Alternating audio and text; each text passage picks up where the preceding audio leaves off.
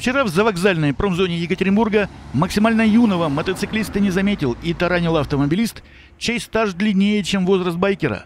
На своем индийском мотоцикле «Баджаж Пульсар», как раз очень рекомендованном для начинающих, по улице Артинской вовсе даже не летел, а без превышения скорости ехал 16-летний гражданин, который уже один месяц назад получил свое водительское удостоверение.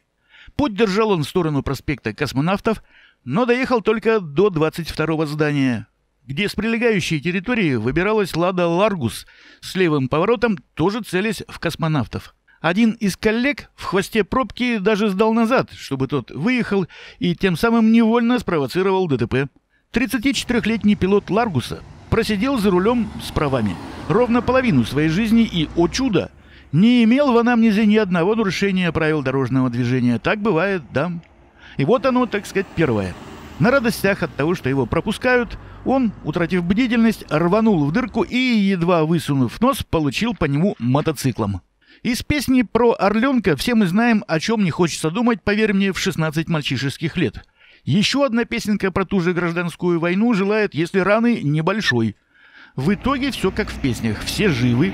Диагноз ушиб левого колена и ссадина левого локтя 16-летний мотоциклист все же получил, но уже после того, как самостоятельно обратился за медпомощью в 23-ю горбольницу Екатеринбурга. Такой хэппи для него произошел исключительно потому, что он следовал принципу «тише едешь, дальше будешь», а будь у него побольше чисто водительского опыта, так он и вовсе не попал бы в эту переделку, но такое приходит с годами.